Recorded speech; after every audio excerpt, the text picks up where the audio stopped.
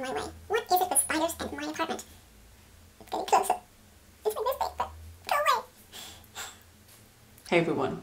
Today I want to film the Good Human tag and this was created by Jen Campbell and I was tagged by Charley Reads. If you don't know Charley, you should check out her channel and especially this video for the Good Human tag thing because she reads really tough books that I would not touch, but they're really important and have interesting topics. So I recommend you check out her channel and her tag video. When I thought about my books, the ones that I would like to show and share with you that made me a good human, I had a big problem because I tend to think that everything I read somehow influences me and teaches me about something. And you know that I read a lot of literary fiction and adult fiction. What I really like in books is when I read about people and they have some issues and problems and they struggle with that and how they overcome the problems and the issue. Basically, I think reading about other people's struggles in life that already makes me a better person.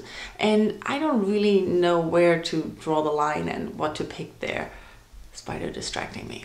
So I basically want to mention two authors that really had an impact or make an impact on how to be a good person, I think. The first person I want to talk about is Mitch Albom, and not one of his books, but all of his books, because he has a certain way of looking at life and how to be in life and how to behave and how things change that really makes you think about your own life. It's coming. Especially Tuesdays with. It's where he talks can you see it? Come on. There. There it is. Nasty spider. I don't like it.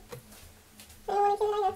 Especially Tuesdays with Morrie, where he meets weekly with uh, Morrie, his old rabbi, and they talk about life and how to live and how to have a happy life. And it's very interesting and teaches you a lot. What I have to say is that I read this first in my early 20s and I didn't really get a connection to it that much because I was in the middle of university and I was not really working hard and didn't have any stress and everything was good. But when I read it again four or five years ago, I could connect to a lot more things differently because I had had a lot of more life experience there and my own struggles to compete with. So I could connect to this book much more after I had a lot of problems myself. Another book that teaches you a lot on how to live better is The Timekeeper, which talks all about time and how we handle time, how we deal with time, and the connection we have to time and what we do with our time. And I really enjoyed this and it made me look at things a little bit differently again.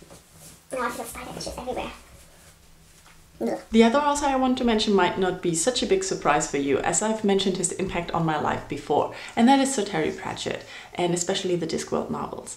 You know that I grew up with the Discworld novels, and I know it is a fantasy series, not about Earth, not about human interaction and anything, but what the Discworld novel does perfectly is mirror our own world and look at it with like some satire, some criticism, some humor, and I think I learned a lot about how to look at our world and how to look at life from the Discworld series that I might not have learned anywhere else. And I do think that it makes life for me and makes me a better person because I'm not as serious as I might have turned out otherwise because of that and I am a little bit more critical and doubting and also more accepting of other things and I do think that made me a better person.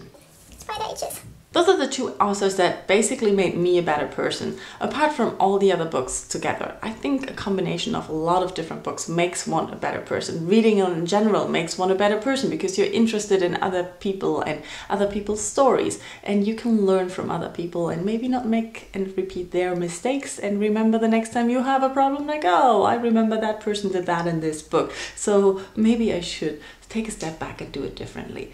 But in general, Mitch Albom I can recommend to anyone and you know I keep trying to get you to read the Discworld novels anyways. I don't really know who has done this tag already or who has been tagged so I think if you want to do this tag and share the books that you think made you a better person just do the tag. Thank you all for watching and I'll talk to you soon. Bye bye.